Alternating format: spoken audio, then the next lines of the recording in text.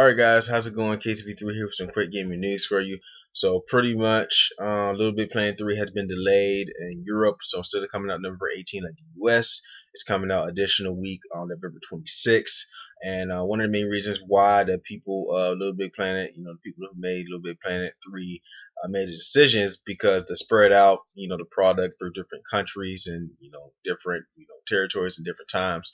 And pretty much that's like a very good business plan. You know, spread your product out uh, to different countries at different times. That it will be definitely overload. It will definitely be overload and complex if you spread a product, a Little Big Planet three, which is only a Sony product, to different countries all at one all at one day. You know, all at one particular time, and it can be pretty much complex. So you know that that idea I definitely agree with, and I think many uh, that's why you see different uh, when a game comes out, very big game comes out, doesn't come out to every territory all at once. It has different days and stuff like that. So to get people, you know, let them enjoy it at that different time and let them get experiences with it. You know, a Little Big Planet three definitely has a little audience. Uh, also, pretty much have a big audience. You know, there's some people, there's some kids, there's some adults that pretty much enjoy the formula Little Big Planet three. Definitely got you know new improvements on gameplay like Sackboy and he having his little friends to help him along to you know finish the puzzles throughout the world and,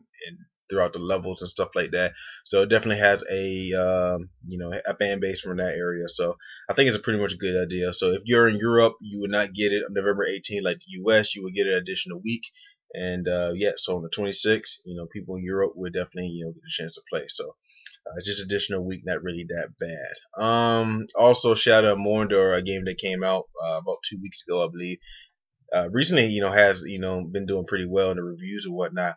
Is half is a half price off uh, if you if you buy it on Steam. You know, if you purchase it on Steam on PC, you get it for half price off, and it definitely will be uh, total price of thirty four ninety four. No, thirty four ninety three, and then pretty much you round that up, you know, it'll be a thirty five dollars. So that definitely be sixty dollar uh, sixty dollar uh, price cut any time of the day.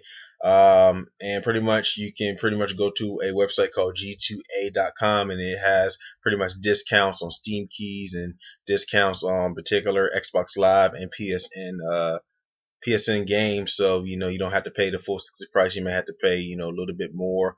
Uh, like half a price, you know, may have to pay twenty dollars less and stuff like that.